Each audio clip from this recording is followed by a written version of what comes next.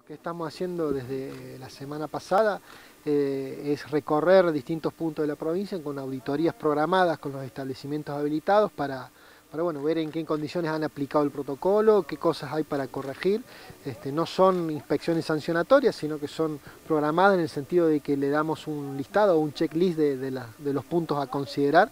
y bueno, con el equipo técnico de, la Secretaría los visitamos y si hay algo que corregir, si hay algo que modificar, se lo sugerimos, este, porque lo que necesitamos ahora es trabajar todo de manera mancomunada en el cuidado del estatus sanitario, que es la principal garantía que hoy tenemos de que la actividad va a seguir funcionando. Fundamentalmente tiene que ver con, los cuidados de, sanitización, de los espacios, los espacios comunes, cómo, cómo hacen con el, con, el ingreso, con el check-in, con el check-out, los distintos puntos que tiene el protocolo de alojamiento que por ahí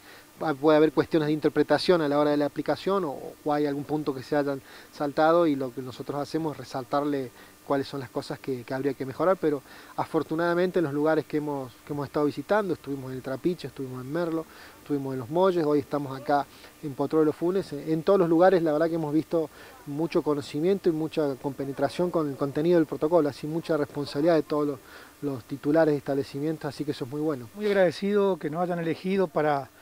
poder mostrar de lo, de lo, que nosotros vivimos, ¿no? de lo que es el turismo.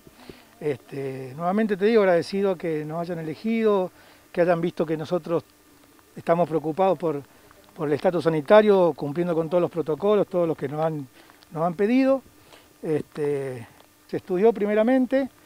nos fijamos en, los puntos débiles que puede tener uno en una cabaña, si bien en los protocolos nos decían cómo manejarnos, este, uno con el sentido común también puede ver un montón de cosas. Así que